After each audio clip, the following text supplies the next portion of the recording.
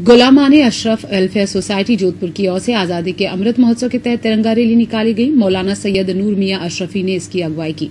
इस मौके पर मौलाना सैयद जमाल अशरफ मौजूद रहे। उन्होंने मुल्क में अमन शांति की दुआ की और देश की आज़ादी के अमृत महोत्सव के उपलक्ष्य में बधाई दी।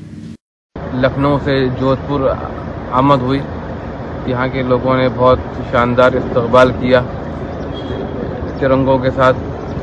और यहाँ कल योम आज़ादी का मौका भी इसी मौके पे मैं जोधपुर आया हूँ। मेरी दुआ है इस मुल्क के लिए इस मुल्क में रहने वालों के लिए एक मुल्क में अमन शांति का माहौल पैदा फरमाए।